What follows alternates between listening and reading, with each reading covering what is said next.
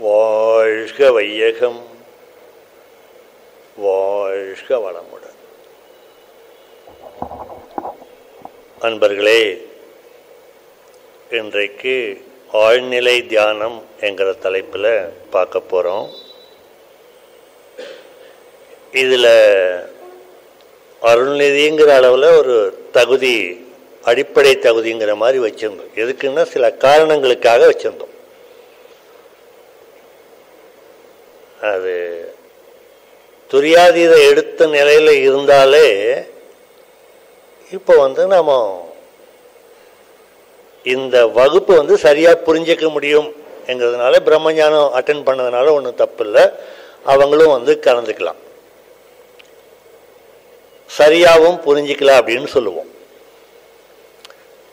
இந்த வகுப்பினுடைய நோக்கம் வந்து இங்கே அட்டன் பண்ணியிருக்கிறவங்க தவத்தை பற்றி சரியாக தெரிஞ்சுக்கணுங்கிற நோக்கம் மட்டும் கிடையாது.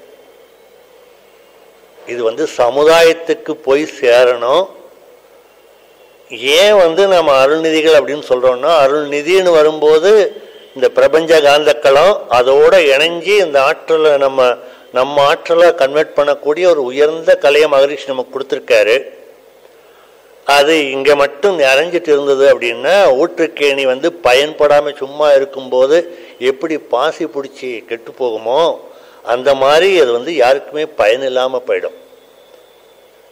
எப்போ வந்து அந்த கலை முழுமையாக நமக்கு வந்து பிடிபடுமோ அது கொடுக்க கொடுக்க கொடுக்கத்தான் வந்து நாமளும் வந்து உயர்வடைவோம் அப்படின்னு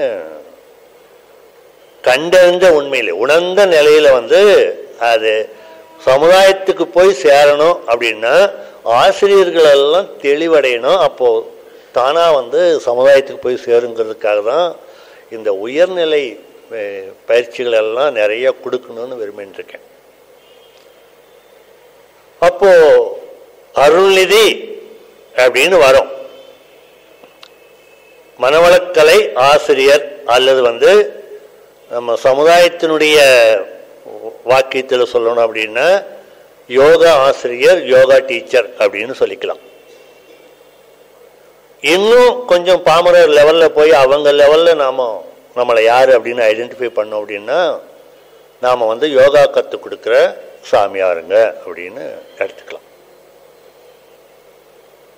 இப்போ சாதாரணமாக ஒருத்தர் வந்து ஒரு ஆசிரமம் நடத்துகிறாரு ஒரு சன்னியாசி. அவருடைய மனதினுடைய அளவு நம்மளுடைய ஆக்னே லெவலில் கூட இருக்காது. ஆனால் சமுதாயம் வந்து அவங்களுக்கு ஒரு நிறைய ஒரு மரியாதையை கொடுக்குது மதிப்பு கொடுக்குது அவங்கக்கிட்ட ஒரு தொடர்பு வச்சுக்கிறாங்க.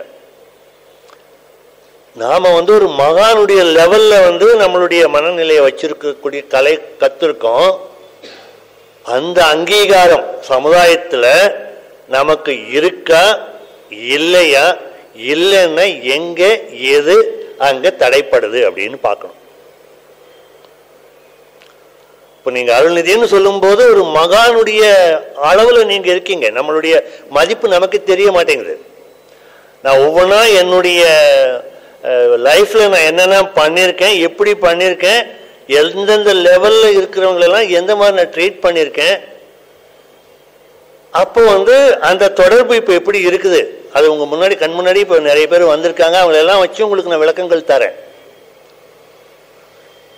நீங்கள் அந்த அந்தஸ்து உயர்த்துவதற்கு உங்களுக்கு பணம் வேண்டாம். பதவி வேண்டாம். படிப்பும் வேண்டாம். மனவளக்கலை ஒன்று மட்டும் போதும். இந்த மனவளக்கலை வந்து நமக்கு கிடைச்சிருக்கு. இதை நீங்க வந்து ஒரு தெளிவா புரிஞ்சுக்கிட்டீங்க அப்படின்னா எப்போ மனவளக்கலையினுடைய தரத்தை குறைக்க கூடாது மகரிஷியினுடைய அந்த தத்துவத்தை வந்து நம்ம விட்டு கொடுக்க கூடாது அதனுடைய மதிப்பு இவ்வளவு அப்படின்னு நம்ம தெரிஞ்சுக்கிறோமோ அப்போ வந்து நம்மளுடைய அந்தஸ்து உயர்ந்துகிட்டே வரும். இப்போ நிறைய சின்ன ஏஜில் இருக்கிறவங்க கூட கேட்கலாம். நீங்கள்லாம் வயசானவங்க இன்னும் சொல்லப்போனால் இப்போ வெள்ளை தாடியெல்லாம் வச்சுட்ருக்கீங்க வச்சுட்டு இருக்கீங்க. நீங்கள் ஒரு வார்த்தை சொன்னால் கேட்பாங்க. ஒரு மரியாதை சமுதாயத்தில் இருக்கும் அப்படின்னு நினைக்கலாம். நான் வந்து பேசிட்டு இருக்கிறது வந்து முப்பத்தஞ்சு ஆண்டுகளுக்கு முன்னாடி நான் என்ன பண்ணேங்கிறத நான் வந்து சொல்லிட்டு இருக்கேன். எங்களுடைய அரங்காவலர் கோவை மண்டலத்துடைய துணைத் தலைவர் சொல்ற மாதிரி நான் வந்து பெல்பாட்டம் போட்ட சாமியார் அப்படின்னு அவர் ஒரு அடைமொழி கொடுத்துருக்கார். ஒரு கல்யாணத்துல போய் பிளஸ் பண்ணா நம்ம வந்து கேஷுவல் ட்ரெஸ்ல இருப்போம். அப்போ வந்து அவர் சொல்லுவார் என்ன நீங்கள் குருங்கிறீங்க இவர் இந்த மாதிரி ட்ரெஸ் போட்டுட்டு இருக்காரு அப்படின்னா அவர் பெல்பாட்டம் போட்ட சாமியார் அப்படின்னு சொல்லுவார். ஸோ அது அல்ல. நம்மகிட்ட என்ன ஷரத்து இருக்குது எந்த லெவலில் நாம் இருக்கோம் அதை சரியாக புரிஞ்சுக்கிட்டீங்க அப்படின்னா நாம் வந்து மனவளக்கலையுடைய ஆசிரியர்களுங்கிற தகுதியை சரியாக நாம் வந்து வச்சுக்க முடியும். இப்போ மனவளக்கலை ஆசிரியர்களே தரத்தை உயர்த்துறது தான் என்னுடைய நோக்கமா இப்போ இருந்துருக்கு இது வந்து அருள்நிதி புத்தூக்க பயிற்சின்னு கூட வச்சுக்கலாம். இன்றைக்கு ரொம்ப நேரம் நான் பேசுவேன் அப்படின்னா என்னுடைய ஸ்பீச்சு கம்மியாக தான் இருக்கும். ப்ராக்டிக்கலாக நிறைய போகும் சித்தாந்தத்துக்கு நிறைய போயிடலாம். இப்போ நிறைய விஷயங்கள் வந்து அகடமிக்கெல்லாம் போகும்போது என்ன ஆகுது அப்படின்னா சிலபஸ் என்னன்னு சொல்லுங்க. அதை நாங்கள் வந்து நடத்துகிறோம் அப்படின்னு வரும். இது வந்து சிலபஸ் கொடுத்து நடத்தும் போது அது வேதாந்தமா வந்துடுது. சிலபஸ் இல்லாமல் நடத்தும் போது சித்தாந்தமா வருது. சித்தாந்தத்தை மகரிஷி கற்றுக் கொடுத்துருக்காரு. அதுக்கு சிலபஸே வேண்டாம். அது அப்படியே சொல்லிட்டு போயிட்டே இருக்கலாம். பட் அந்த சித்தாந்தம் வந்து எந்த அளவுக்கு நீங்கள் உணர்றீங்களோ அந்த அளவுக்கு தான் அது வந்து நம்ம கொடுக்க முடியும். அது இண்டிவிஜுவலா அவங்க உள்ள உணர்வுல இருந்து வரக்கூடிய ஒரு விஷயம். அப்போ சமுதாயம் நம்மளை மதிக்கணும் அப்படின்னா நாம வந்து என்னெல்லாம் சமுதாயத்துக்கு டீச் பண்றோமோ அந்த டீச் பண்ணக்கூடிய விஷயங்கள் வந்து நாம கடைப்பிடிக்கணும். கடைப்பிடிக்கும் போது அதுக்கான தகுதிகளை வளர்த்துக்கணும். நான் இப்போ அடிப்படை தகுதிகள். எப்படி வந்து நாம் வந்து நம்மளை இந்த ஸ்கேல் வச்சு அளந்துக்கலாம் அப்படிங்கிற மாதிரி நான் சில விஷயங்களெல்லாம் உங்களுக்கு நான் பேசிக்கு கற்றுத்தரேன் சென்ற வகுப்பில் அட்டன் பண்ணவங்க எத்தனை பேர் இங்கே இதில் இருக்கீங்க? அதில் அட்டன் பண்ணவங்க எயிட்டி பர்சன்ட் இல்லையா?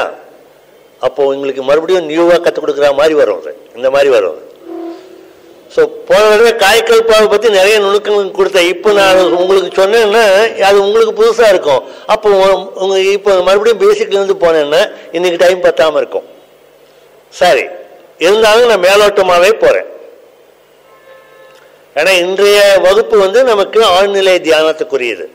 அதுக்கு ஒட்டி போவோம்.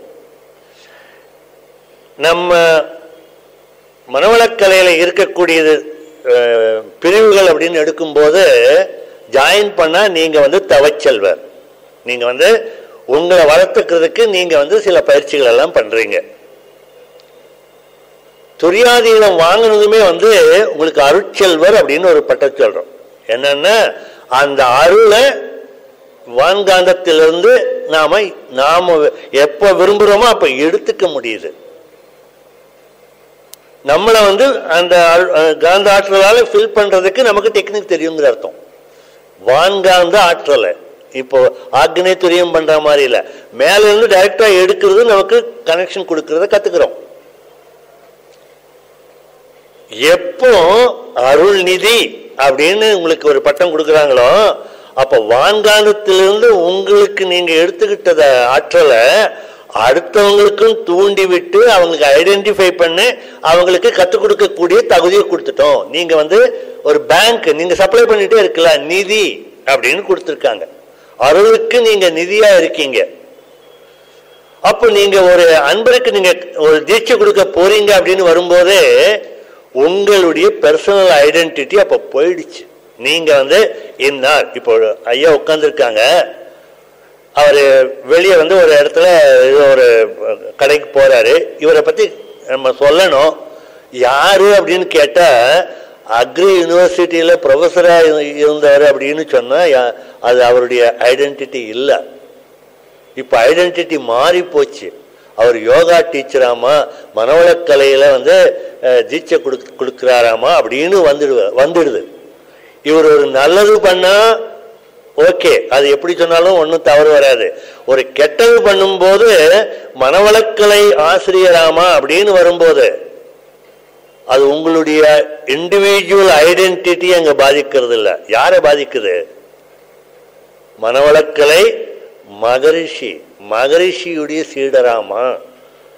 அவர் இப்படி பண்ணிட்டாராமா? அப்படின்னு வரும். அப்போ என்றைக்கு நீங்க அருள்நிதி நானீங்களோ you become the society's property அப்போ ஒவ்வொரு மூமெண்ட்டும் வந்து நமக்கு வந்து ரொம்ப ஜாக்கிரதையாக இருக்கணும். அப்போ வந்து அயரா விழிப்பு நிலை. விளைவறிந்த விழிப்பு நிலை. அது வந்து நம்ம கூடவே இருந்தால் ஒழிய நாம் அருள்நிதின்னு சொல்றதுக்கான தகுதியை இருந்துடுறோம். நாம் அந்த ஒன்றும் சேவை பண்ணக்கூடாது. இல்லை ஒழுக்கத்தோடு இருக்கணும். இது ரெண்டில் ஒன்று நம்ம தேர்ந்தெடுத்துக்கணும் எதுவும் மெக்கானிக்கலாக நம்ம வந்து நாலு பேருக்கு தீட்சை கொடுக்குறேன் ஒரு லெக்சர் கொடுக்குறேன் போறேன்னு இருக்கக்கூடாது. So we become the social property மகரிஷியுடைய நேரடியான ரெப்ரசன்டேட்டிவ் நீங்க சொல்றதெல்லாம் மகரிஷி சொன்னதா அர்த்தம். இப்ப நிறைய வந்து அவங்க பாட்டுக்கு என்னென்னமோ சொல்லிட்டு இருக்காங்கங்கிறதுனால வாலண்டியரா வந்து நான் தான் உனக்கு குரு நீ என்னதான் ஃபாலோ பண்ணும் அப்படிங்கிற மாதிரி எல்லாம் சில கருத்துக்கள் எல்லாம் வந்ததுனால தான் இதுல நீங்க தவன் கண்டக்ட் பண்ணும்போது ஆசான் வேதாத்திரி மகரிஷி அவர்களுக்கு வணக்கம்னு சொல்லிட்டு இருக்கீங்க எங்களுக்கு மகரிஷி அப்படி சொல்ல சொல்லவே இல்லை. ஆசானுக்கு வணக்கம். நீங்க தீட்சை கொடுக்குறீங்க. மகரிஷி வந்து நம்மளுடைய தலைவர். ஆனா அந்த சீடருக்கு யார் வந்து குரு? யார் தீட்சை கொடுக்குறீங்களோ அவங்க தான் குரு. அந்த குருன்னு சொல்றதுக்கான தகுதி நம்மகிட்ட வேணுமா வேணாமா? நீங்க தைரியமா சொல்லணும்னா நீங்க எப்படி இருக்கணும்? அந்த இடத்துல வந்து அந்த ஒழுக்கத்தோடு இருந்தா தானே சொல்ற தகுதி வரும். அப்போ எந்த இடத்துல நீங்க வந்து அந்த ஒழுக்கத்தை கடைபிடிச்சு நான் வந்து யோகா குருன்னு சொல்ற தைரியம் வந்துச்சோ அப்போ உங்களுக்கு வந்து மனவளக்கலையுடைய தகுதியை வந்து நீங்க உயர்த்திட்டீங்கிற அர்த்தம். அப்ப தவம் தானா வரும். தவம் வந்து ரெண்டு மணி நேரம் தவம் பண்ணா அது வந்து டீப் மெடிடேஷன் இல்லை. இந்த வினாடியில் வந்து நீங்க ஆழ்ந்த நிலைக்கு போகலாம் அந்த போறதுக்கு வந்து எது அங்க வந்து இதா இருக்குதுன்னு பார்த்தீங்கன்னா நீங்க இந்த மனவளக்கலையினுடைய தகுதியை உணர்ந்தீங்கன்னா உங்களை நீங்க உயர்த்துறதுக்கு ரெடி ஆயிட்டீங்கன்னா அங்க ஒழுக்கம் வந்து கூடவே வந்துடும்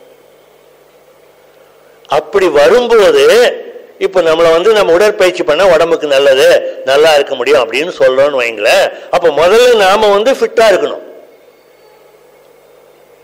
இப்போ ஐந்து இது சொல்றாங்க பாருங்க. உணவு உழைப்பு உறக்கம் உடலுறவு உள்ளம். இதில் அளவு முறைன்னு சொல்றாங்க பாருங்க. அதை கடைபிடிக்கிற தன்மையோடு இருக்கணும். அதை வந்து நாம ப்ராக்டிக்கலாக அப்ளை பண்ணணும். நம்ம கூடவே இப்போ இருக்காங்க அப்படின்னா அவங்க நம்மளை பார்த்து கத்துக்கிறாங்க. அப்படி கத்துக்கும் போது நாம சரியா இருந்தா தான் அவங்களும் அதை பண்ணுவாங்க. We should be the guide to them குருங்கிறவர் guide தானே. இப்போ கைடாக இருக்கணும். அப்படி இருக்கும்போது நீங்கள் பணத்துக்கு அடிமை பணக்காரருக்கு தனியாக பார்க்கக்கூடாது அவருக்கு வந்து பயந்து நம்ம செயல்படக்கூடாது. ரொம்ப படிச்சிருக்காங்க அப்படின்னு பயந்து போய் நம்ம வந்து கிளாஸ் எடுக்கக்கூடாது இப்போ கிளாஸ் எடுக்கும்போது ஐயா வந்து டாக்டர் பிஹெச்டி அவர் என்ன நினைப்பாரோ நான் வந்து சொன்னால் சரியாக இருக்குமோ இல்லையோ தெரில அப்படின்னு. அதே சமயத்தில் ஒரு அதிகாரத்தில் இருக்காங்க. அவங்ககிட்ட நாம் இது பண்ணும்போது கொஞ்சம் பயந்து போகணும். கிடையாது. நாம தான் அந்த இடத்துல குரு உயர்ந்தவங்க. அந்த உயர்ந்த பதவியில் நாங்கள் இருக்கோம். அவங்க உங்ககிட்ட கத்துக்கிறதுக்கு வந்திருக்காங்க. அவங்க சீடர்கள் தான். பாமர மக்களையும் அந்த உயர்ந்த அந்தஸ்துல இருக்கிறவங்களையும் சம இடையில வச்சு உங்களால் தீட்சை கொடுக்க முடியுமா? முடிஞ்சது அப்படின்னா நீங்க வந்து உண்மையான குருவா இருக்க முடியும். குரு சிஷ்ய உறவு வந்து அங்க நீடிக்கும். கடைசி வரைக்கும் நீடிக்கும். அந்த மரியாதை கொடுப்பாங்க. நான் உங்களுக்கு நிறைய எல்லா ஸ்டேஜஸ்ல இருக்கிறவங்களோட நான் எப்படி பழகியிருக்கேன் என்ன மாதிரி நடந்திருக்கு அதை இப்போ வந்து நான் உங்களுக்கு நே- முந்தா நேற்று கூட ஆஸ்திரேலியாவிலேருந்து அந்த யூனிஃபைட் ஃபோர்ஸ் சயின்டிஸ்டுடைய கைடு வந்து பார்க்கறதுக்கு வந்திருக்காரு. நாங்கள் ஊட்டியில் சந்திச்சிருக்கோம் பேசியிருக்கோம். அவர் அப்பாயின்மெண்ட் வாங்கி பார்க்கறதுக்கு வந்திருக்காரு. அந்த லெவலில் தான் வந்து அது போயின்னு இருக்கு அப்போ எந்த இடத்துல என்ன இருக்குது? எது உயர்ந்தது? ஆன்மீகத்தில் வந்து நாம கத்துக் கொடுக்குற விஷயம் ரொம்ப உயர்ந்ததுங்கிறத நம்ம புரிஞ்சுக்கிட்டோம் அப்படின்னா அந்த இடத்துல வந்து எல்லாருமே சமம். அது அந்த இடத்துல வந்து ஈகோ இல்லாது எல்லாருமே சமம். அவர் நம்மளை வந்து குருவா ஏத்துக்கிற மாதிரி நாம நடந்துக்கணும். அவங்க அவங்கள வந்து நாம முழுமையான சீடராக தான் பாதிக்கணும். அவங்க வந்து இப்போ இந்த இதில் இருக்காங்களே அந்த இது இருக்காங்களேன்னு நமக்கு அந்த பயம் இருக்கக்கூடாது. பயம் தேவையில்லை. காரணம் நாம குருங்கிற ஸ்தானத்தில் இருக்கோம். இப்போ புரியுறதுங்களா உங்களுக்கு? நாம் எந்த ஸ்தானங்கிறது? அதை மெயின் சமுதாயத்தில் மெயின்டைன் பண்ணணும். அதை மெயின்டைன் பண்ணுறது அப்படின்னா நமக்கு தகுதியை வளர்க்கறதுக்கு இங்கே இருக்கக்கூடிய பஞ்சபூதங்கள் எப்படி சீராக இயங்கிட்டு இருக்கா அப்படின்னு நாம் வந்து தெரிஞ்சுக்கணும். அதுக்கு ஒரு சின்ன சின்ன அளவுக்கோல் ஒரு ஐடென்டிட்டிக்கு நான் தரேன். இப்போ காயக்கல்பா வந்து நான் இதில் ஃபுல் இதில் நான் எடுக்கும்போது ஆரம்பத்தில் வந்து மகரிஷி வந்து காய் கற்றுக் கொடுத்த காயக்கல்பா வந்து வேறு. அது ப்ராக்டிக்கல் சமுதாயத்தில் சொல்லும்போது வந்து அவங்க வந்து நூற்றுக்கு தொண்ணூறு பேர் வந்து செய்யறதுல கஷ்டப்படுவாங்க. கஷ்டப்படும் போது ஐயா இப்படி பண்ணும்போது இப்படியெல்லாம் இருக்குது எங்களால் இது பண்ண முடியல நிற்க முடியல இந்த போஸ்டர் கஷ்டமாக இருக்குது அப்படின்னா அப்போ இந்த மாதிரி பண்ணிக்கிங்கன்னு அதை சிம்பிளிஃபை பண்ணி டைல்யூட் பண்ணி கொடுத்துட்டாரு. மகரிஷி கற்றுக் கொடுத்தது தான். எதுக்காக அப்படி பண்ணாருன்னா நாம் முடியலன்னு சொல்லும்போது அப்போ இந்த அளவில் பண்ணிக்கோ பண்ணுற அளவு பெனிஃபிட் அப்படின்னு விட்டுறாரு. இப்போ உங்களுடைய உடல்ல காந்த ஆற்றல் வந்து திண்மையாகவும் அளவாகவும் நல்லா ஒரு பொட்டன்சியாக இருந்தது அப்படின்னா உங்களால் வந்து அந்த பேலன்சிங் இருக்கா இல்லையாங்கிறத வந்து இந்த காயக்கால்பாவில் ஃபஸ்ட்டு போஸ்டரில் வச்சு நீங்கள் வந்து ஒரு அளவுக்கோல் வச்சுக்கலாம். செய்ய முடியும். காயக்கல்பாங்கிறது என்ன அப்படின்னு வரும்போது ஆற்றலை மேலே ஏற்றி தலையில் வைக்கிறது தான் காயக்கல்பம். அதை உடல் முழுக்க பரப்பினீங்க அப்படின்னா அதை தித்திவாரின்னு சொல்லுவாங்க இல்லாட்டி வந்து விபாசனம் அப்படின்னு சொல்லுவாங்க. அது மேலேயும் கீழேயும் வந்துட்டு இருந்தது அப்படின்னா அதை கிளியரன்ஸ் அப்படின்னு சொல்லுவாங்க. ஒவ்வொன்றுக்கும் ஒவ்வொரு அர்த்தங்கள் இருக்கு. அதை உடலளவு விரிச்சிட்டு அப்படியே நிறுத்திட்டீங்க அப்படின்னா அதுக்கு பேர் தான் வந்து நம்ம வந்து நித்யானந்தம் அப்படின்னு சொல்லுவோம். ஒவ்வொரு வார்த்தைக்கும் ஒரு பயிற்சிகள் இருக்கு. நிறைய பயிற்சி முறைகள் இருக்கு. அதுல உங்களுக்கு தெரிஞ்சது பாதி உங்களுக்கு கற்றுக் கொடுக்காதது பாதின்னு சொல்லுவோம். ஒரு முப்பத்தஞ்சு அளவுக்கு வந்து பயிற்சிகள் இருக்கு. நோட் பண்ணி வந்திருக்கேன். உங்களுக்கு எல்லாம் ஆக்னேயன்னா என்னன்னு தெரியும். சாந்தி தெரியும். துரியம் தெரியும். தண்டுவட சுத்தி தெரியும். துரியாதீதம் தெரியும். ஒன்பது மைய தவம் தெரியும். கண்ணாடி பயிற்சி விளக்கு பயிற்சி நவகிரக தவம் பஞ்சபூத தவம் பஞ்சேரிய பஞ்சேந்திரிய தவம் தனாகிருஷ்ண சங்கல்பம் சாந்தி ஆசனம் இறைநிலை தவம் நித்யானந்த தவம் காயக்கல்ப தவம் மழை தவம் காந்த ஆற்றல் பெருக்கம் இந்த கை வச்சு இப்படி பண்றோம் இல்லைங்களா? அது தெரியுது. பாசஸ் கொடுக்கறது தெரியுது. இதனுடைய நுணுக்கங்கள் தெரியுமோ இல்லையோ? பயிற்சிகள் எல்லாம் எடுத்திருக்கீங்க. ஆனால் நிறைய விஷயங்கள் உங்களுக்கு வந்து நாங்கள் சிலபஸ்லேருந்து எடுத்தாச்சு. பிரணவத்தவம் விஸ்வரூபத்தவம் காவடித்தவம் மனோன்மணித்தவம் தித்திவாரித்தவம் திபெத்திய தவம் சாயா தரிசனம் சூக்கும பயணம் கரும்புள்ளி பயிற்சி சுவாதிஷ்டான த- தியானம் மணிப்பூரக தியானம் அநாத தியானம் விசுக்தி துவாதசாங்கம் சக்தி களம் ஆரா எக்ஸ்பென்ஷன் இத்தனையும் வந்து சிலபஸ்லேருந்து எடுத்தாச்சு. உங்களுக்கு இதெல்லாம் வந்து எந்த பயிற்சியும் உங்களுக்கு கொடுக்கல. இதெல்லாம் வந்து மகரிஷி கற்றுக் கொடுத்ததுன்னா மகரிஷி இது சிலபஸ்ல இருந்து ஒரு பர்சன்ட் கூட வெளியே போக மாட்டேன் எனக்கு தேவையும் இல்லை. ஏன்னா பிரபஞ்சத்தில் இருக்கிற அத்தனை ரகசியங்களும் அவர் கற்றுக் கொடுத்துட்டு இருக்காரு. இதுக்கு மேலே ஒன்றும் இல்லை. எதுலேயுமே சந்தேகமும் இல்லை. சந்தேகம் இருந்தது அப்படின்னா அங்கே நல்லா கற்றுக் கொடுக்குறாங்க போல இங்கே நல்லா கற்றுக் கொடுக்குறாங்க போல தேடலில் போயிட்டே இருக்க வேண்டி வரும். முழுமை அணிஞ்சிருத்து இவ்வளவுதான் இது முடிவு அப்படின்னு நீங்க நிறை நிறைவாயிட்டீங்க அப்படின்னா உங்களுக்கு வந்து தேடல் இருக்காது.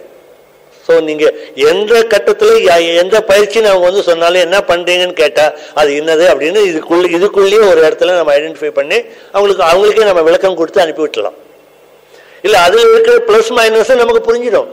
பேசிக் வந்து நம்மக்கிட்ட இந்த வட்டத்துக்குள்ளதான் இருக்கும். அப்போ நீங்க வந்து இதனால வரக்கூடிய விளைவுகள் அதை நம்ம தேடி போறது கிடையாது. தானாவே வந்து நம்ம இந்த பயிற்சிகள் எல்லாம் பண்ணும்போது இங்க மனம் ஒடுங்கி ஒடுங்கி போகும்போது இஎஸ்பி வரும். புலன்களுக்கு அப்பாலான அறிவு கிட்டும். கிளைவயன்ஸ் வரும். உங்களுடைய எண்ணத்துல நீங்க என்ன நினைக்கிறீங்களோ என்ன தேவைன்னு நினைக்கிறீங்களோ அதை எடுத்து உங்களுக்கு நாங்கள் ஃபீட் பண்ணிடுவோம். உங்களுக்கு உங்க உங்களுக்கு என்னென்ன தேவைன்னு நீங்க இப்போ சில லெக்சர்ஸ் கொடுக்கும்போது அதை நிறைய பேர் நிறைய கேள்விகளோடு வருவாங்க.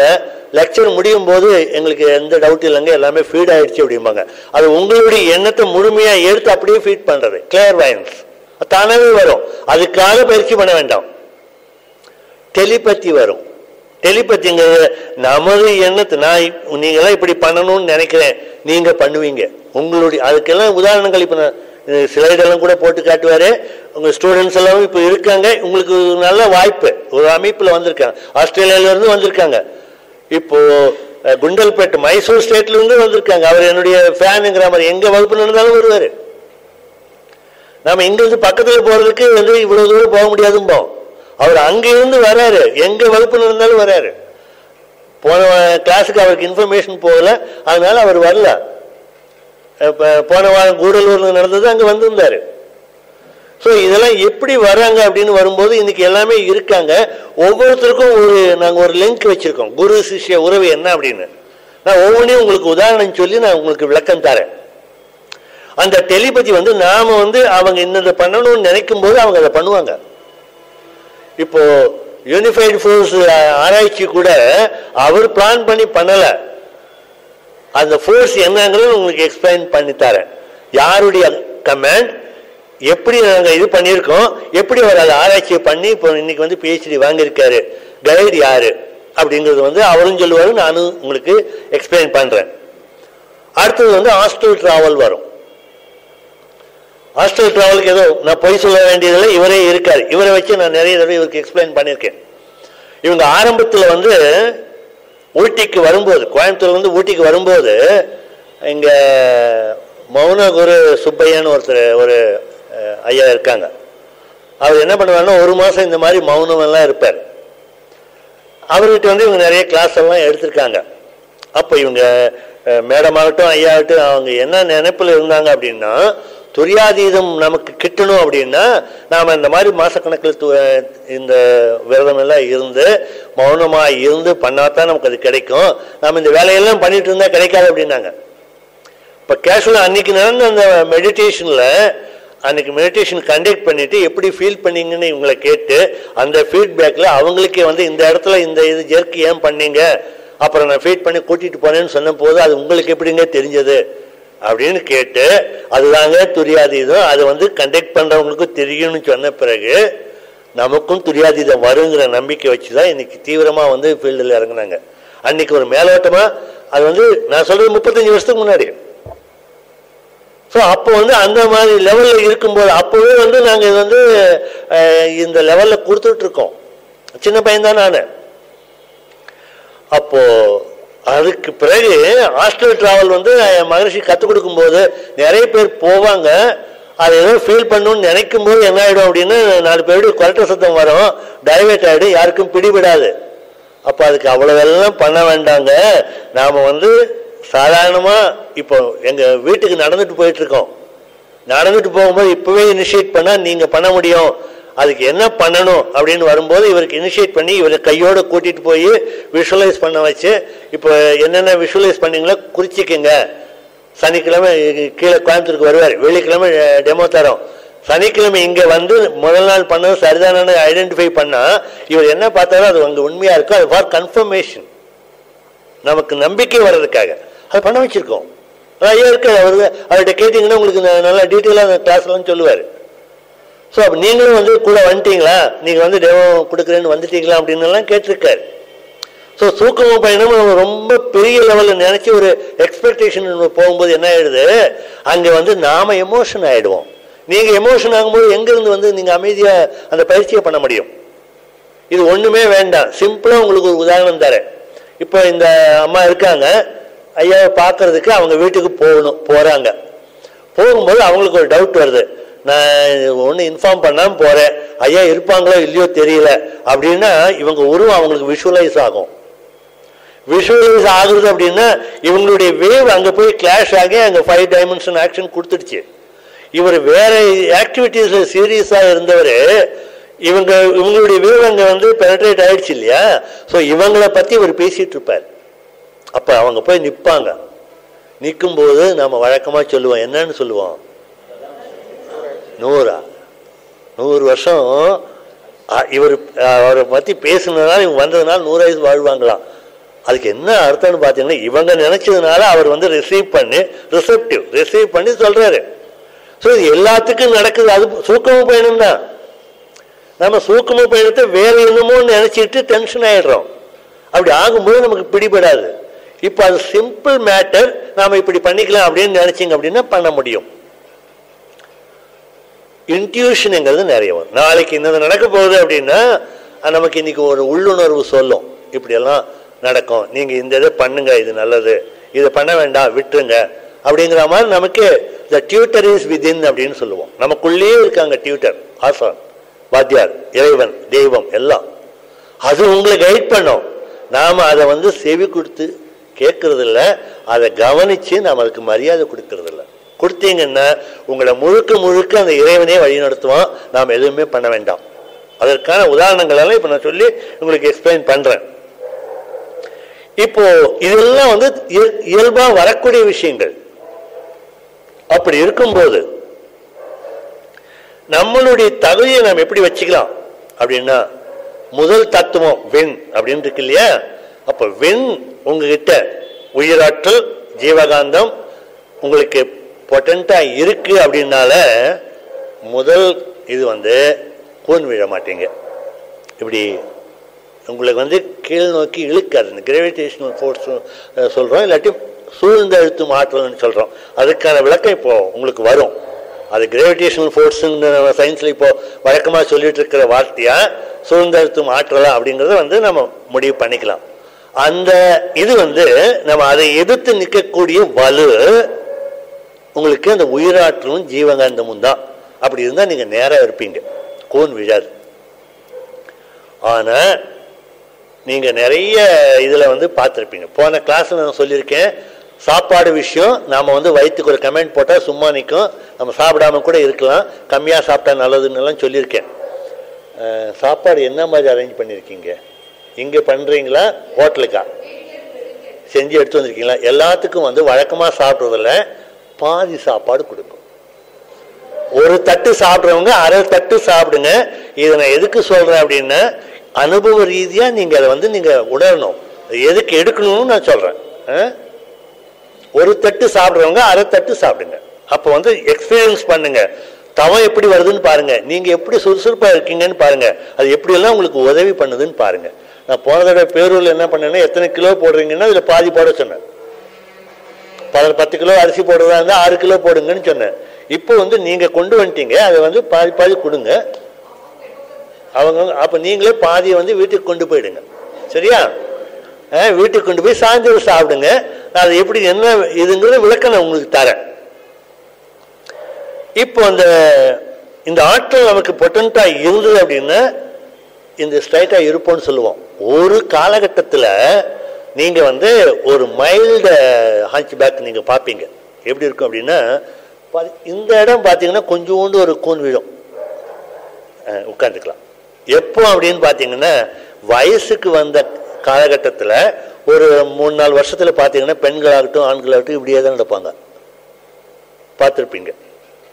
அதுவே நாற்பது வயசு தாண்டிட்டு அவங்களுக்கு வந்து இப்போ ப பசங்கள்லாம் ப்ளஸ் ஒன் ப்ளஸ் டூ படிக்கிறாங்க. க- கணவன் மனைவி உறவு வந்து அங்கே கொஞ்சம் பிரேக் இருக்குது அந்த மாதிரிலாம் இருக்கும்போது பார்த்தீங்க அப்படின்னா அந்த ஹஞ்ச் பேக் கொஞ்சம் வரும். இதெல்லாம் வந்து என்ன அப்படின்னு பார்க்கும்போது மூலாதாரத்தில் இயக்கம் அதிகமாகுது. கீழ்நோக்கி வந்து ஈர்ப்பு விசை அதிகமாக இருக்குது எண்ணங்கள் வந்து மேல் நோக்கி இதில் டைவெர்ட் பண்ணணும்னோ நாம் வந்து அதை சமன்படுத்தியும் நம்ம எந்த பயிற்சியும் பண்ணுறதில்ல அப்போ என்ன ஆகுது? ஈர்ப்பு விசை கீழே இருக்குது. அதாவது உணர் உணர்வுகள் அப்படின்னு வரக்கூடியது இயல்பாக நடந்துட்டு இருக்கு நாம் அதை தடை பண்ணி நிறுத்திட்டு இருக்கோம் அப்போ இப்படி நேராக நிற்கிறதுக்கான வலு இல்லாமல் காந்த ஆற்றல் கீழ் நோக்கி இழுக்கிறதுனால ஒரு ஹஞ்ச் பேக் வருது. கல்யாணம் ஆன கையோட பார்த்தீங்கன்னா ஒரு ஒரு வாரத்தில் வந்து ரொம்ப தெம்பாக வருவாங்க. அந்த கூந்தெல்லாம் போயிட்டுருக்கோம்.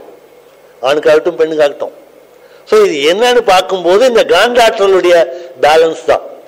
ஸோ உங்களால் பேலன்ஸ் பண்ண முடியுதாங்கிறதுக்கு நான் ஒரு பயிற்சி வந்து உங்களுக்கு ஒரு ஐடென்டிட்டிக்கு தரேன் அது எப்படிங்கிறது என்ன இதுங்கிறது இப்போ உங்களுக்கு ஃபோட்டோ காட்டிடுறேன். மகரிஷி கொடுத்த பயிற்சிகள் தான் இது. அவருடைய புக்கில் இருக்கிறது தான். அதில் காயக்கல்பாவுடைய ஃபஸ்ட்டு போஸ்டர் வந்து பார்த்தீங்க அப்படின்னா இந்த மாதிரி இருக்கும். இப்படி இருக்கிறது வந்து மூலாதாரத்திலேருந்து ஆற்றலை மேலே கொண்டு போகணும். கால் பார்த்தீங்கன்னா கொஞ்சம் தூக்கிட்டு நிற்கும் பண்ணிட்டாருங்களா? உங்களாலையும் முடியும். அப்போ இப்போ பண்ண வேண்டாம். வீட்டில் போய் விழுந்து விழுந்து ஆடி கீடி ஸ்டெபிலைஸ் ஆகிக்குங்க உங்களை நீங்கள் தயார் பண்ணிக்கங்க. ஆச்சுங்களா? இது வந்து உங்களுடைய இத்தர் லெவல் பேலன்ஸிங் அடுத்தது வந்து காற்று. பஞ்சபூதத்தில் அடுத்தது காற்று வருது இல்லையா?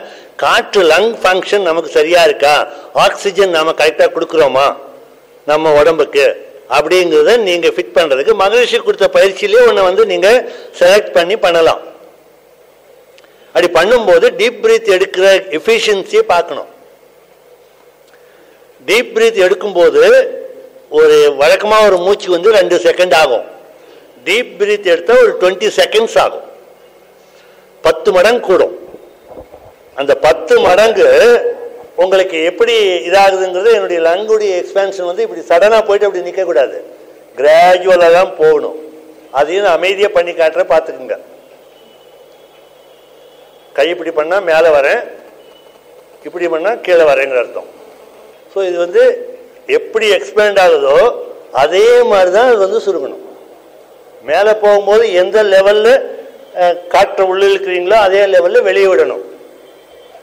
இது வந்து உங்களால் வந்து இது பண்ணும்போது லங் கம்ப்ளீட்டாக எல்லாம் உள்ளுக்குள்ளெல்லாம் நல்லா இருக்கும். அப்படிங்கிற ஒரு அளவுகோல் நீங்கள் தெரிஞ்சுக்கணும் அப்படின்னா மகரிஷி வந்து கய க இந்த கபாலபதியை வந்து நமக்கு வந்து ஆரம்பத்தில் வந்து கொஞ்சம் நல்லா பயிற்சி பண்ணுறவங்கள வந்து ஒரு அட்வான்ஸ் லெவலில் கொஞ்சம் கற்றுக் கொடுப்பார். அப்போ என்ன பண்ணார்? நாம் நியூரோமஸ்குலர் பண்ணுறோம் பாருங்கள் அப்படி பண்ணும்போது இப்படி கையை வச்சுட்டு கீழே குனிஞ்சிட்டு வரும்போது நீங்க கபாலபதி பண்ணிட்டு வாங்க. மேலே வரும்போது இழுத்துட்டு வாங்க அப்படின்னு சொன்னார். அந்த கபாலபதி எல்லாம் பண்ணும்போது உங்களுக்கு இந்த நெக்கு இந்த ஷோல்டர் இதெல்லாம் வந்து ஃப்ரீயாக இருக்கணும். இதில் ஸ்டிஃப்னஸ் வரக்கூடாது. டைட்டாகக்கூடாது ஃப்ரீயாக இருக்கணும் அப்படின்னா நீங்கள் என்னெல்லாம் பண்ணணும்? நீங்கள் முழுக்க முழுக்க ரிலாக்ஸ்டாக அந்த பயிற்சியை பண்ணணும். யோகாவில் எந்த இடத்துலையுமே ஸ்ட்ரெயின் வரக்கூடாது பெயின் வரக்கூடாது டயர்டாகக்கூடாது இப்போ அந்த கபாலபதி வந்து கையை வைக்கிறதுல கொள்றதுல ஒன்றும் பண்ணாமல் ஃப்ரீ நெக் இருக்கிற மாதிரி நான் உங்களுக்கு செஞ்சு காட்டுறேன். அப்படி பண்ணீங்க அப்படின்னா நம்ம ஃபங்க்ஷன் நல்லா இருக்குங்கிற அர்த்தம். சரியா? அடுத்தது வந்து வெப்ப ஓட்டம்.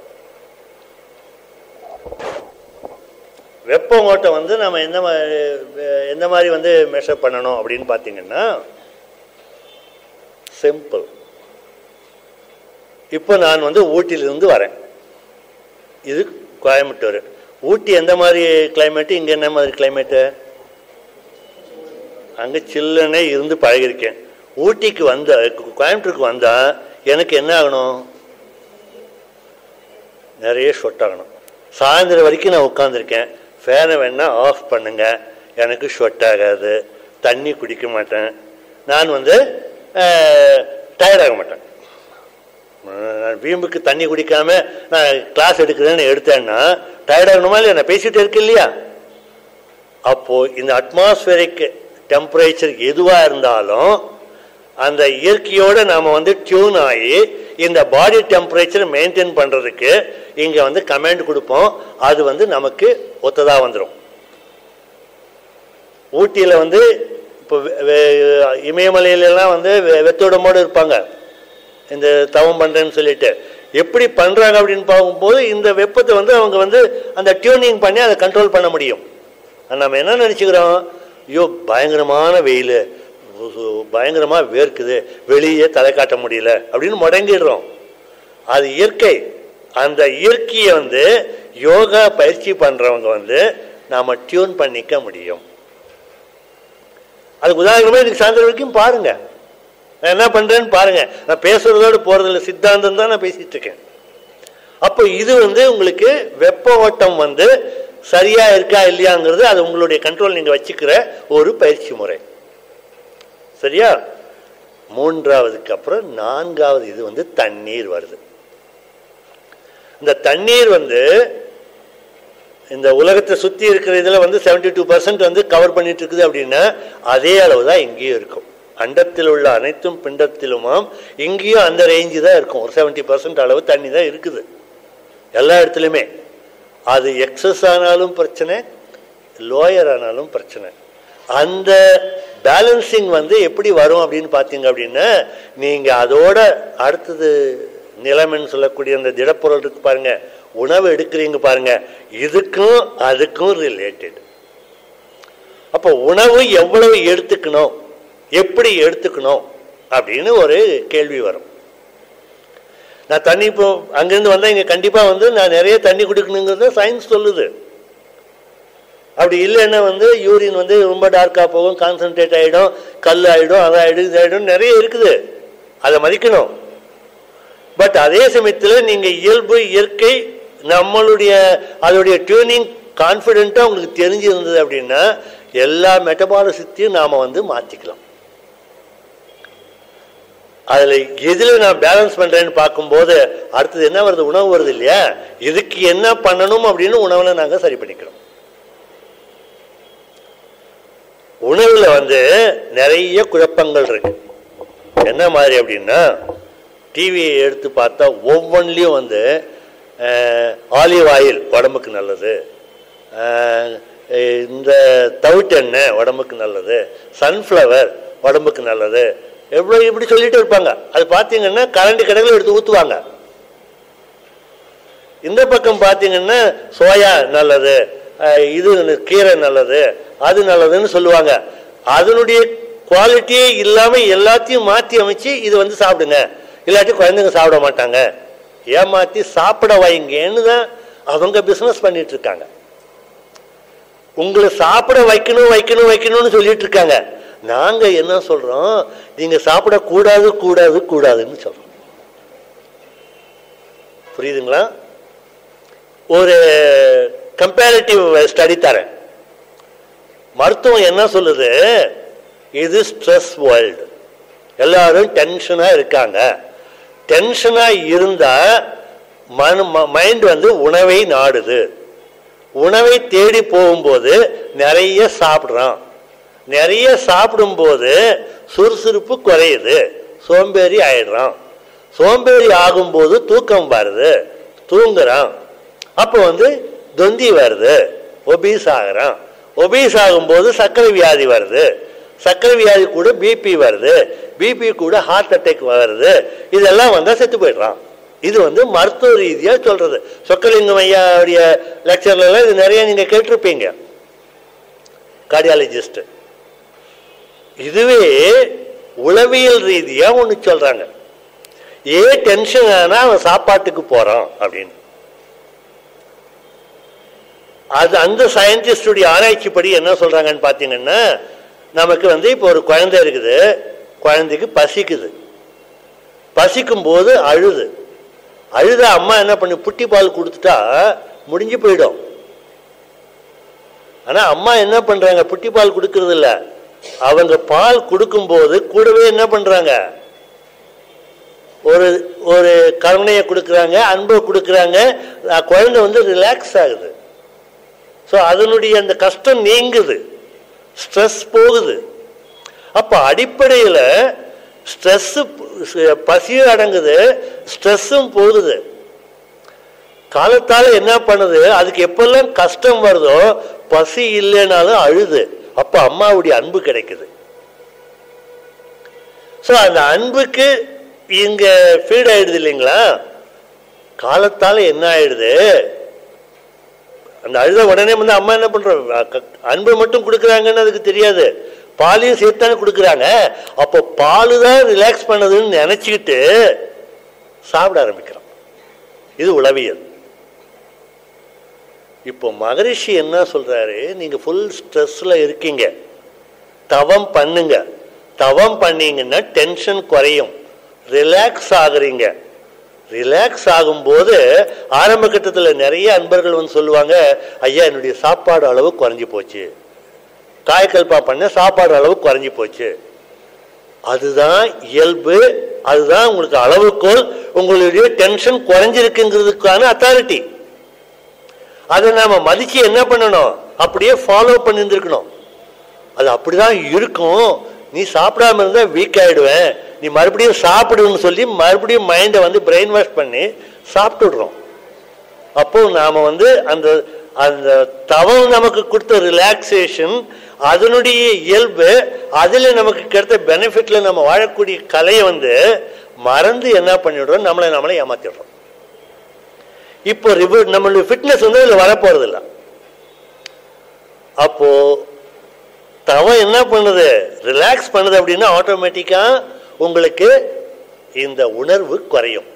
அப்போ சாலிட் மண்ணுங்கிற தத்துவம் ஐந்தாவது தத்துவம் வந்து உங்ககிட்ட ஃபிட்னஸ் இருக்கா இல்லையான்னு பார்க்கணும் அப்படின்னா உங்களுடைய உணவினுடைய அளவு குறைஞ்சி இருக்கணும். அதை வச்சுதான் நீங்க அளவு பட முடியும். நீங்க டென்ஷன் ரிலீஃபா இருக்கீங்க. தவ உங்ககிட்ட வேலை செய்யுது. அப்படின்னா உணவினுடைய அளவை வச்சு உங்களை எடை போட்டுக்கலாம். நீங்க காலையில் காலையில எட்டு இட்லி சாப்பிட்டு பழகிட்டீங்க. ரெண்டு இட்லி சாப்பிட்டா பசிக்குது. பதினோரு மணிக்கு எனக்கு பசி உணர்வு தெரியுதுங்க. அப்படின்னா ஆம். மைண்ட் வந்து ஒரு தாட் கொடுத்துருக்கீங்க. எட்டு இட்லி சாப்பிட்றவங்க வந்து ரெண்டு இட்லி சாப்பிட்டா தாங்குமா? அந்த எண்ணத்தை போட்டுட்டு தான் ரெண்டு சாப்பிட்றீங்க. இல்லை எனக்கு அளவு ரெண்டு தான் அப்படின்னு எடுங்க. அதுக்கு மேலே உங்களுக்கு பசி உணர்வு வருதா? மருத்துவ ரீதியாக வந்து சொக்கலிங்கம் சொல்கிற கருத்து என்ன அப்படின்னா நீங்கள் மூளையை ஏமாத்துங்க அப்படிம்பார். எப்படி ஏமாத்தணும்? ஒரு ஒரு டம்ளர் தண்ணியை குடிங்க பசி உணர்வு நின்றுடும் அந்த உணர்வு வரும்போது தண்ணியை குடிங்க. இல்லை சாப்பாட்டுக்கு முன்னாடி ரெண்டு டம்ளர் தண்ணியை குடிச்சிட்டு போய் உட்காருங்க. அப்போ கொஞ்சமாக சாப்பிடும்போது ஃபுல் ஆகிடும் மத்தியானம் அதை பண்ணுங்கள் ரெண்டு டம்ளர் தண்ணியை முதல்ல குடிச்சிடுங்க. உங்கள் சாப்பாட்டில் பாதியை சாப்பிடுங்க. உங்களுக்கு வந்து எந்த ப்ராப்ளமும் வராது. அதுக்கு நான் கேரண்டி இல்லையா? நான் இப்போ சாயந்தரம் வரைக்கும் நான் பேசுறேன். நம்ம மத்தியானம் லஞ்சே எடுக்கிறது கிடையாது. என் கூட இருக்கிற அலங்காளூர் எல்லாத்துக்கும் தெரியும். நான் வந்து சாயந்தரம் வரைக்கும் பேசுறேன். டயர்டாகிறேன்னா எனக்கு எனர்ஜி பத்தலையா? பார்த்துக்குங்க. ஸோ இது வந்து நாம நம்மளை வந்து எடை போட்டு பண்றது. அப்படி பண்ண ஃபிட்னஸ் எந்த அளவில் இருக்கணும்? நீங்க அண்டர் வெயிட்டாகவும் போயிடக்கூடாது. ஆகாது. பட் அண்டர் வெயிட் ஆயிடுமோன்னு பயம் இருந்ததுன்னா நீங்க உங்களை அளவுக்கோல் வச்சு பார்த்துக்குங்க. என்ன ஹைட் இருக்கீங்களோ அதுல வந்து நூறு சென்டிமீட்டர் கழிச்சுட்டு மீதி இருக்கிற சென்டிமீட்டர் கிலோகிராம் இருக்கீங்களான்னு பாருங்க. அப்ப அது பாடி மாஸ் இண்டெக்ஸ் அப்படின்னு சொல்லுவான்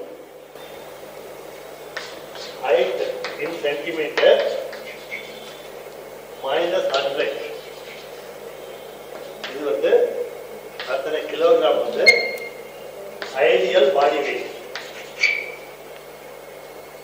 body mass index அப்படின்னு சொல்லுவோம்.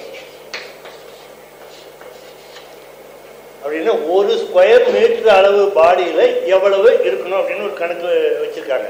அது என்ன பண்ணோம் அப்படின்னா வெயிட் இப்போ வெயிட் இருக்குன்னு வைங்களேன் அறுபது கிலோ அப்படின்னா இந்த வெயிட்டு உங்களுக்கு ஹைட் அஞ்சு அடி இருக்குதுன்னா ஒன் பாயிண்ட் ஃபைவ் மீட்டர் மீட்டரில் போட்டு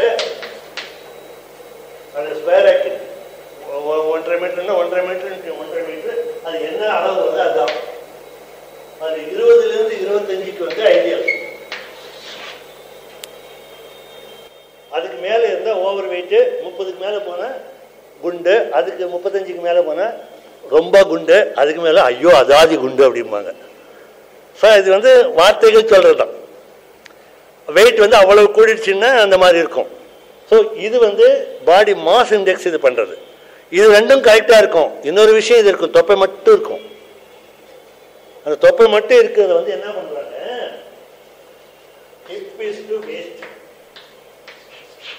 ratio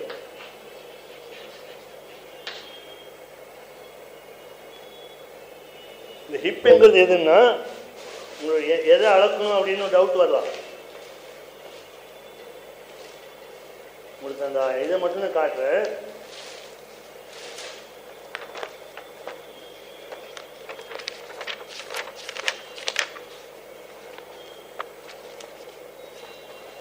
இந்த படம் தெரியுதா உங்களுக்கு இந்த டிராயிங் போட்டிருக்கு தெரிகிறதா தெரியலையா? தெரியுது இல்லையா? ரெண்டு கோடு வருது. அதில் வந்து இந்த எலும்பு இருக்கு பாருங்க பெல்விக் போன் அந்த எலும்பை சுற்றி ஒரு வட்டம் எடுக்கிறோம். மெஷர்மெண்ட்டு அது ஹிப்பு அதுக்கு மேலே ஒரு வளைவு வருது.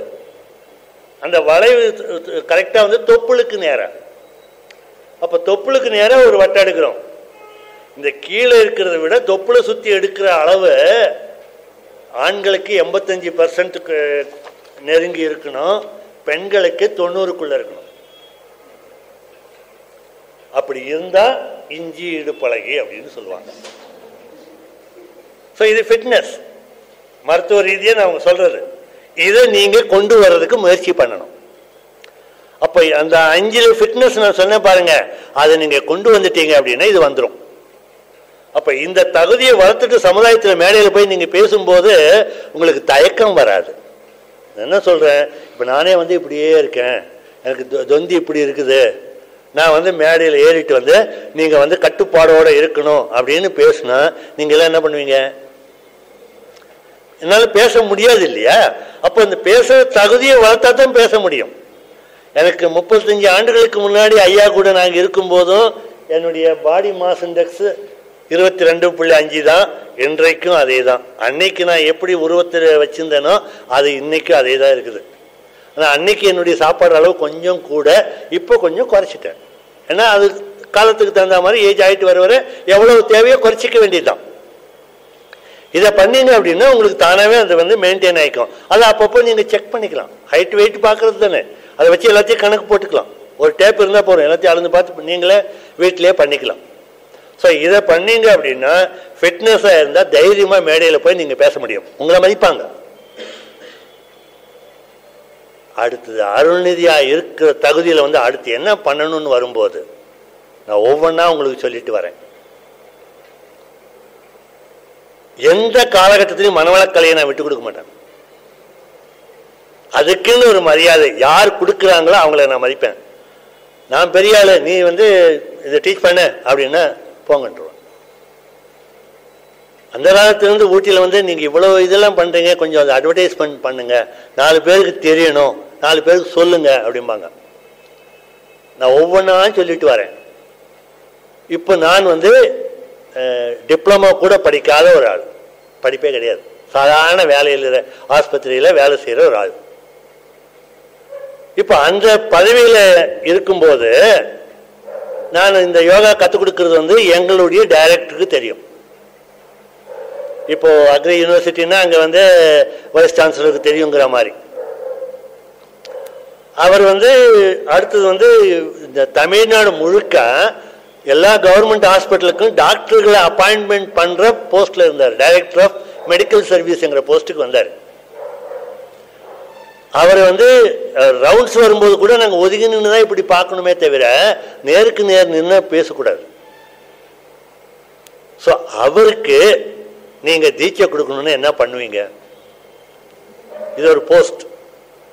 அந்த போஸ்டில் இருக்கார். ஸ்டேட் லெவலில் ஹையர் போஸ்டில் இருக்கார். நீங்கள் வந்து மூன்றாம் நிலை ஊழியராக இருக்கீங்க. எனக்கு அவர் அப்பாயிண்ட் பண்ண டாக்டர் எனக்கு அப்பாயிண்டிங் அத்தாரிட்டி. அப்போ நாம் வந்து இந்த தொழில் ரீதியாக எப்படி இருக்கும்? ரொம்ப லோ லெவலில் இருக்கும்.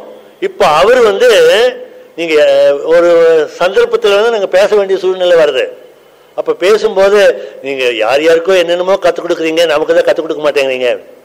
உங்களுக்கு விருப்பம் இருந்தால் நான் கற்றுத்தரேன் அப்படின்னு அவர் கற்றுக் கொடுக்கும்போது தரையில் உட்கார்ந்து சீடராக இருந்து குருவாக ஏற்று வணங்கி ஏற்றுக்கிட்டா தான் கற்றுக் கொடுப்போம். அப்படி ஏற்றுக்கிட்டாரு உங்களை மாதிரி சமமாக வந்து வகுப்பில் உட்கார்ந்து அவர் வந்து நான்காம் நிலை அகத்தாய்வு பிரம்மஞானம் வரைக்கும் முடிச்சிருக்கார். மாஸ்டர் கோர்ஸும் முடிச்சிருக்கார். ஆலியாரில் போய் எல்லாரோடும் சேர்ந்து போய் முடிச்சிருக்கார். இப்போ அவர் ஒவ்வொரு ஸ்டெப்லையும் அவர் வந்து ப்ரமோஷன் வந்தது அப்படின்னா கூட்டிட்டு போய் ரூமுக்கு ஒரு காப்பு போடுங்க என்னை ப்ளஸ் பண்ணுங்கன்னு ஆசீர்வாதம் வாங்கி தான் இது பண்ணுவார். அப்போ அந்த இடத்துல வந்து என்ன உறவு இருக்குது? நான் நான் வந்து டெக்னீஷியன் அவர் வந்து டைரக்டருங்கிற உறவு கிடையாது. அந்த இடத்துல ஒரே உறவு வந்து அங்கே குரு சிஷ்யர். இன்னைக்கும் அவர் இருக்காரு. இப்போ இந்த வாரம் வந்து அவருக்கு பேராசிரியராக வந்து இது பண்ணுங்க சர்வீஸ் தேவைப்படுது அப்படின்னு பேராசிரியராக வந்து அப்ரூவ் பண்ணியிருக்கோம். ஸோ அது முப்பது வருஷமாக நீடிக்குது. நான் சொல்றது அன்னைக்கு நான் சின்ன பையன். இப்போ மாதிரி தாடி வச்சு சாமியார் மாதிரி லுக்கெல்லாம் கிடையாது. இப்போ பார்த்தா ஒரு சமுதாயத்தில் ஒரு சாமியார் மாதிரி இருக்கார் அப்படின்ற கமெண்ட் அடிக்கிறாங்க. ஏன்னா அந்த உருவத்தில் பார்த்துட்டு இதை கமெண்ட் அடிக்கிறாங்க. ஆனால் இது இந்த மாதம் தான் வச்சுருக்கேன். நீங்கள் போன தடவை வந்ததுக்கு அப்புறம் தான் நான் தாடியை வச்சுருக்கேன். விடணும்னு தோணிச்சு விட்டுட்டேன். அது காரணங்கள் கிடையாது. இன்னொரு இது சொல்கிறேன் பணத்தில் வந்து நல்ல ஒரு உயர்ந்த நிலையில் இருக்கிறது எங்களுடைய நிர்வாக அருங்காவலர் ஐயா வந்து வகுப்புக்கு வர நாங்களாக கூப்பிட மாட்டோம். அவர் வந்து யாருன்னு தெரியாது. வகுப்புக்கு வரார். அவர் எங்கே போனாலும் அவரை வந்து நல்லா எல்லா வரவேற்பு கொடுப்பாங்க. எல்லாரும் இன்னாருன்னு தெரிஞ்சு இது பண்ணுவாங்க. அந்த வரவேற்பு கொடுக்கும்போது என்ன ஆகுது அப்படின்னா அவர் அங்கிருந்து வெளியே வரும்போது உடனே ஒரு நோட் வரும். அதில் வந்து ஒரு பத்தாயிரரூபா டொனேஷன் பண்ணுங்கள் ஏதாவது ஒன்று வரும். அவர் அந்த வகையில் தான் இதையும் எதிர்பார்த்து வந்தார். அன்னைக்கு எங்களுடைய இது வந்து பதினோரு ரூபாயா சார்? இருக்காது ஆளுங்களெல்லாம் வச்சுக்கிட்டு தான் நான் பேசிட்டு இருக்கேன். எங்கேயுமே எந்த ஒரு பொய்யான வாக்குறுதியும் இப்போ கொடுக்கறது இல்லை. பதினோரு ரூபா. அவர் வந்து கூட்டிட்டு வந்தாங்க. ரெண்டு பேர் கூட வந்தாங்க. ஏன்னா அவர் வந்து அந்த அந்தஸ்தில் இருக்கிறதுனால. வந்து சார் இவர் வந்து ஜெயராமனையா சார்? அப்படின்னாங்க. அப்படின்லாம் இப்படி பார்த்தேன். சரிங்க. அவர் வந்து இந்த மாதிரி பிஸ்னஸ் எல்லாம் பண்ணுறாருங்க சரிங்க. இப்போ உங்களுக்கு என்ன வேணுங்க? யோகா கற்றுக்கணும்னு வந்திருக்காரு சார். சரிங்க. விரும்புகிறீங்களா அப்படி ஆமாங்க. அப்படின்னு ஒரு அப்ளிகேஷன் எடுத்து கொடுத்தேன் ஃபில்அப் பண்ணார். பதினோரு ரூபாய்க்கு ஒரு ரெசீட் போட்டு கொடுத்தேன். கட்டினாரு. உட்காருங்க அப்படின்னு தீட்சை கொடுத்தேன். எடுத்தார். போயிட்டார். அவருக்கு வந்து டிசப்பாயிண்ட் ஆகிடுச்சு அட நான் இவ்வளோ பெரிய ஆளுன்னு போனேன். போன இடத்துல காசும் கேட்க மாட்டேங்கிறாங்க. கண்டுக்கவும் மாட்டேங்கிறாங்க. வகுப்பு நடக்குது. ஆறு மணிக்கு கிளாஸ் இப்போ இங்கே சுப்பனையாலாம் இங்கே இருக்காங்க இல்லைங்களா? அவங்கெல்லாம் வந்து பொறுப்பாசிரியராக அங்கே வந்து வகுப்பு எடுத்துகிட்டு இருக்காங்க. ஆறு மணிக்கு வந்து கதவை சாத்திடுவோம். இவர் வந்து ஆறு ரெண்டுக்கு வந்திருப்பாரு. அரை மணி நேரம் கதவு கதவு இடுக்கல அங்கே நின்றுட்டு இந்த கமாண்டை கேட்டுக்கிட்டு வெளியே நின்று தியானம் பண்ணிட்டு போயிருக்காரு. கேளுக்கு ஸோ அங்கே வந்து அந்த பணத்துக்கு அங்கே மரியாதை கொடுக்க கூடாதுன்னு இல்லை. பணம் வேணும். ஆனால் அவங்க மனவளக்கலையை புரிஞ்சுக்கணும்னா இதுக்கு வந்து அவங்க வந்து ஒரு சீடராக வந்தால் தான் புரிஞ்சுக்க முடியும். இன்னைக்கு அவர் வெளியே துரத்துனா போக மாட்டார். எவ்வளவோ வேலை இருக்குது. அதெல்லாம் விட்டுட்டு நம்மளை வந்து கிளாஸுக்கு கூட்டிகிட்டு வந்திருக்காரு. இதுவே வந்து இப்போ வந்து உங்களுக்கு பயிற்சி பண்ணி காட்டினார் பாருங்க உங்கள் மண்டல துணைத் தலைவர். அவர் வந்து அவருடைய சொந்தக்காரர் வந்து ஒரு வருஷமா கிளாஸுக்கு வந்து விட்டுட்டு போவார் அவர் வர்றதில்ல. கடைசியாக ஒரு நாள் வந்தார். வந்தவர் வந்து அவருக்கு ஒரு கம்ப்ளைண்ட் இருக்கு அந்த ஹெல்த் வைஸ் அந்த கம்ப்ளைண்ட்டுக்கு வந்து சொன்னார். பயிற்சி எடுத்துட்டார் கொஞ்ச நாள் அது சரியாச்சு. அதுக்கப்புறம் அவரே வந்து கண்டினியூ ஆயிட்டாங்க. ஸோ அங்கே வந்து நம்ம வேற எதையும் எதிர்பார்த்து எதையும் கற்றுக் கொடுக்கறது கிடையாது. குரு கற்றுக் கொடுத்துருக்காரு. அதை கற்றுக் கொடுக்குறோம். கற்றுக் கொடுக்கும்போது முழு இன்வால்மெண்ட்டோட கற்றுக் கொடுக்குறோம். அதில் எந்தவித எதிர்பார்ப்பும் கிடையாது. இன்னும் சொல்ல போனால் கலெக்டருடைய ஸ்டேட்டஸில் இருக்கக்கூடிய ஒரு இது இந்த கார்டட் ஃபேக்ட்ரின்னு சொல்லுவோம் அருவங்காடு. அதனுடைய ஜிஎம் அங்கே ஒரு மன்றம் வச்சுருக்கோம். அங்கே ஒரு காய்கல்பா போடுறோம். ஐநூறு பேர் இது பண்ணியிருக்காங்க அவங்க ஆடிட்டோரியம் வந்து நம்ம பெரிய ஒரு தியேட்டர் மாதிரி உட்கார்ற போஸ்ட்டு அந்த இடத்துல வந்து நடக்குது. அவர் ஒரு பத்து நிமிஷம் முன்னாடி வந்துட்டார். அவர் வந்து அது அவங்களுடைய ஃபேக்ட்ரி அவங்க எம்ப்ளாயீஸு அவங்க எல்லாருமே அவரை கொண்டு போய் மேடையில் உட்கார வச்சிருக்காங்க. நான் வெளியே வந்து அவர் இந்த வழியாக வருவாருன்னு காத்துட்ருக்கேன் காத்துட்ருக்கு உள்ள இருந்துட்டு உள்ளே போகும்போது அது வந்து இந்த கதவுலேருந்து மேடைக்கு போகணும் அப்படின்னா கிட்டத்தட்ட ஒரு கிலோமீட்டர் நடக்கணும். அவ்வளோ டிஸ்டன்ஸ் அவர் அந்த கம்பெனியுடைய ஜிஎம் ஐஓஎஃப்எஸ்ங்கிறது ஐஏஎஸ் மாதிரி ஈக்குவல் கேடர் புரோட்டோக்காலில் அந்த ரேஞ்சில் வரும். அவர் என்ன பண்ணியிருக்கணும் அவர் மேடையில் உட்காந்துட்ருக்காரு நானும் சாதாரண ஒரு முப்பது வயசில் இருக்கக்கூடிய ஒரு ஆசிரியர். அருள்நிதி. நான் போகிறேன் அப்போ அவர் என்ன பண்ணும்? வழக்கமாக என்ன பண்ணுவாங்க? போ போன பிறகு அப்படியே கையை கொடுத்துட்டு உட்கார வைப்பாங்க.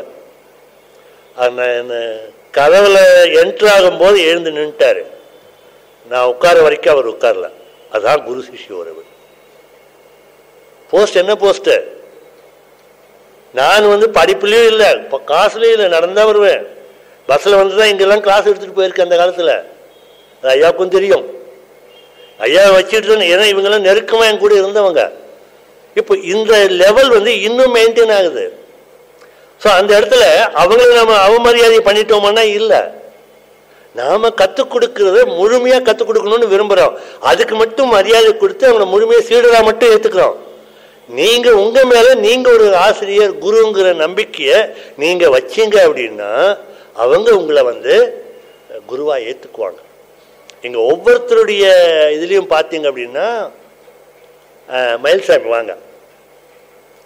இவர் வந்து பேசிக்கலா வந்து ஒரு மேசன் தான் இல்லைங்க மேசனா இருந்தார். இவர் இன்னைக்கு சரிசமமா அங்க உட்கார்ந்துருக்காரு. மேடையிலையும் உட்காருவார். சார் எங்களை வீட்டுக்குள்ளேயே அலோவ் பண்ண மாட்டாங்க. மேடையில வந்து நீங்க உட்கார வச்சு எனக்கு அந்தஸ்து கொடுத்துருக்கீங்க. அவர் சீடராக வந்திருக்காரு. ஆசிரியர் ஆகணும்னு விரும்பியிருக்காரு அந்த ஆன்மாவை மதிக்கிறோம் அந்த லெவல் கொடுக்குறோம். போய் உட்காந்துக்கங்க ஸோ இதெல்லாம் வந்து ஏழையும் காட்டுறோம் பணக்காரையும் காட்டுறோம் படிப்பில் உயர்ந்தவங்களையும் காட்டுறோம் அந்தஸ்தில் உயர்ந்தவங்களையும் காட்டுறோம். கடைசியாக ஒன்று சொல்கிறேன் என்ன அப்படின்னா எண்பதில் வந்து நான் ஆசிரியர் பயிற்சிக்கு வரேன். ஆசிரியர் பயிற்சி வந்து எங்களுக்கு வந்து முதல்ல ஆசிரியர் ஆக்கிட்டார் அவர். இது ஃபார்மாலிட்டி படி ஆசிரியர் சர்டிஃபிகேட் வச்சு தான் கற்றுக் கொடுக்கணும் அப்படின்னு வந்தது எண்பதுல. அப்போ அந்த மாஸ்டர் கோர்ஸ் அட்டன் பண்ணணுங்கிறதுக்காக இங்கே ஏண்டாமல் கல்யாண மண்டபத்தில் நான் வந்து அட்டன் பண்ணுறேன் அப்படி பண்ணும்போது நான் சின்ன பையன். அப்போது இன்ட்ரோடக்ஷனில் மகரிஷி சொல்கிறாரு ஊட்டியிலிருந்து சத்தியமூர்த்தின்னு ஒரு சின்ன பையன் வந்திருக்கான் அவன்கிட்ட பேசுங்க நிறைய ஆராய்ச்சி சொல்லுவார். நான் முத முத மாஸ்டர் கோர்ஸுக்கு போகிறேன் அப்போவே அவருக்கு வந்து ஆராய்ச்சியோடு நான் வந்து இதை எடுத்துக்கிறேங்கிறது வந்து அவருக்கு இது ஆயிருக்குது அப்போ மைண்டில் வந்து இந்த தத்துவங்களை வெளியே கொண்டு வர்றது உள்ளார் உள்ளுக்குள்ளே இருக்கிற உள்ளுணர்வாக நான் வந்து ஃபீல் பண்ணுறோம் இறுதி கட்டத்திலையும் வந்து அவர் வந்து ஆராய்ச்சி இதுக்கு தலைவர்னு சொல்லி அவர் எழுதி கொடுத்துருக்கிறதும் நான் இன்னைக்கு காட்டியிருக்கேன். அதுவும் வந்து அதுதான். அப்போது ஆராய்ச்சிக்குன்னு இறை வந்து வழி காட்டணுமா இல்லையா? இவர் வந்து ஏழை விவசாய குடும்பத்தில் பிறந்தவர். எங்கள் அப்பா வந்து இவரை இன்ஜினியர் ஆக்கி பார்க்கணும். அதாவது ஒரு ப்ரொஃபஷனல் டிகிரி வாங்கி கொடுக்கணும் அப்படின்னு ஆசை. அவர் மெம்பர் ஆனால் என்ன ஆயிடுச்சுன்னு பார்க்கும்போது ப்ளஸ் டூ ரிசல்ட் வந்துச்சு பாருங்க. அந்த ரிசல்ட் வரும்போது என்ஜினியர் ஆகிறதுக்கு அப்ளை பண்ணும் இல்லையா? அப்ளை பண்ணும்போது அவன் ஒரு எலிஜிபிலிட்டின்னு ஒன்று வச்சுருப்பான். அந்த அதுக்கு உரிய சயின்ஸ் சப்ஜெக்டில் ஃபிசிக்ஸ் கெமிஸ்ட்ரி மேத்ஸில் மினிமம் ஃபிஃப்டி ஃபைவ் இருக்கணும். அக்ரிகேட் அறுபது இருக்கணும் அப்படின்னு ஒரு ரூல் இருக்கு. இவருக்கு அக்ரிகேட் அறுபதுக்கு மேலேயே வருது. ஆனால் மினிமம் எல்லாத்துலேயும் ஐம்பத்தஞ்சுக்கு மேலே இருக்குதுன்னு வைங்க. அதில் ஒன்றில் வந்து ஐம்பத்தி ரெண்டு தான் இருக்குது. It's not eligible to apply அங்கே அப்பா வந்து கேட்குறாரு என்ன பண்ணுங்க? நான் ரொம்ப ஆசை வச்சு இப்படி ஆகிப்போச்சு அவரை கூப்பிடுங்க. அப்படின்னு. வரார். அப்போ பேப்பரில் சில நியூஸ் எல்லாம் வந்தது. என்னன்னா சென்ட்ரல் கவர்மெண்ட்ல மினிமம் மார்க் வந்து ஐம்பது. அக்ரிகேட் அறுபது. அது அந்த ச- தமிழ்நாடு கவர்மெண்ட்லேருந்து ஒரு ஒரு பையன் வந்து தமிழ்நாடு கவர்மெண்ட் மேலே ஒரு கேஸ் போட்டு சென்ட்ரல்லே இந்தியாவில் தான் நான் இது வாழறேன். அவங்க வந்து எலிஜிபிள்னு சொல்கிறாங்க இவங்க இப்படி வந்து எனக்கு சீட் கொடுக்கல. எனக்கு வேணும்னு ஹைகோர்ட்டில் கேஸ் போட்டு வின் பண்ணிட்டான். அது பேப்பரில் வந்துச்சு. அப்போ என்ன பண்ண அப்படின்னா விஎல்பி காலேஜ் இருக்கு பாருங்க இங்கே. அங்கே நமக்கு தெரிஞ்சவங்களுக்கு வந்து இன்ஃப்ளூயன்ஸ் பண்ணு. அவரை நீங்கள் என்ஜினியரிங் சேர்த்துருங்க. எலிஜிபிலிட்டி நான் வாங்கி தரேன். அப்படின்னு சேர்த்தாச்சு. நீங்கள் வாங்கி கொடுக்கலன்னா எக்ஸாம் எழுத முடியாது. இதுதான் கண்டிஷன் சரி. அப்போ இவங்க அண்ணாரை வந்து ஒரு அட்வொகேட்டுக்கு லெட்டர் கொடுத்து சென்னைக்கு அனுப்பணும். அவர் ரிட்டு போட்டு அந்த காப்பி வாங்கி கொடுத்தாரு. அந்த காப்பியை சப்மிட் பண்ணி paste on this order he is eligible to apply அப்படின்னு போட்டு சீட் கன்ஃபார்ம் பண்ணி எக்ஸாம் எழுதிட்டார். இப்போது இவர் கல்வி தரத்தில் எந்த லெவலில் இருக்கார்? ஆவரேஜா பிலோ ஆவரேஜா டாப்பா இவர் எண்பது மார்க் அப்போவே வாங்கியிருந்தாருன்னா இன்னைக்கு வந்து நம்ம இங்கே உட்காந்துருக்க மாட்டார். அவர் வேற ஒரு ரூட்ல போயிருப்பார். இவர் அந்த லெவலில் இருக்கும்போது அது வந்து இறை செஞ்ச ஒரு விளைவு இங்கே டைரக்ட் பண்ணி விட்டுருக்குது. எந்த எதிர்பார்ப்பும் இல்லை. நானும் பெரிய இன்ஃப்ளூயன்ஷியல் இல்லை. அது என்னமோ ஒரு தெரிஞ்சவர் இருந்திருக்காரு. அங்கே சொல்லிவிட்டு சீட்டு கொடுத்துட்டாங்க. But he completed his BE இந்த பிஇ முடிச்சதுமே கவர்மெண்ட் லோன் வாங்கி ஆஸ்திரேலியா போனார். ஆஸ்திரேலியாவில் வந்து அவர் எம்எஸ் பண்ணிட்டு இருந்தார். இன்னைக்கு எத்தனை டிகிரி வச்சுருக்கீங்க? ஆறு டிகிரி வச்சுருக்காரு. அதை கொஞ்சம் இந்த போர்டில் எழுதிட்டு எனக்கு சொல்ல தெரில வாங்க. இந்த போர்டில் வந்து இந்த டிகிரியை மட்டும் எழுதிட்டு மேலே.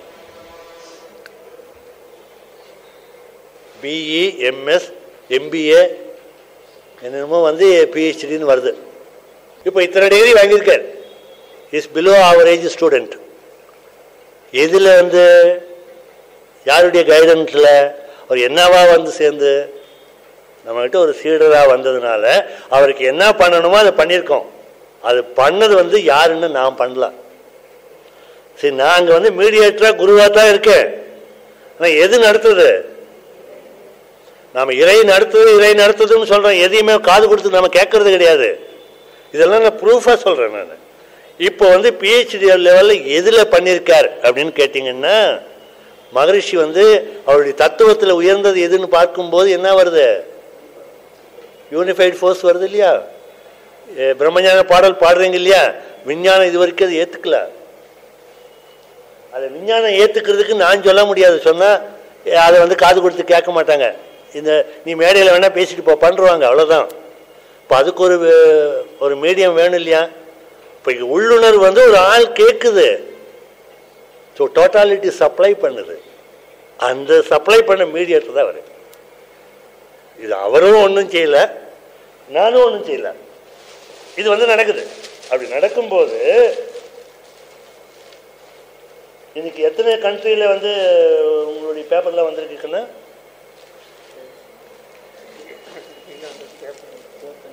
ஃபோர் கண்ட்ரீஸில் அதில் முக்கியமாக வந்து Muslim country Christian country Hindu country மூணு கண்ட்ரி கவர் பண்ணியிருக்காரு.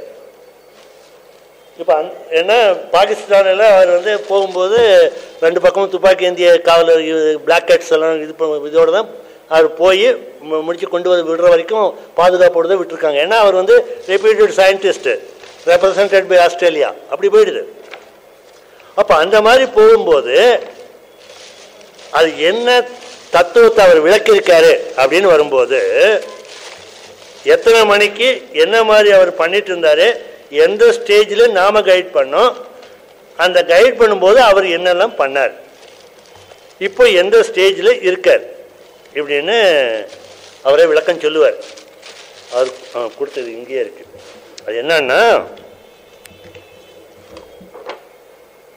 unified force and it's relation with global warming இப்போ வர வர சூடாயிட்டே இருக்குது இல்லையா? நாம் பொல்யூட் பண்ணிட்டே இருக்கோம் இல்லைங்களா?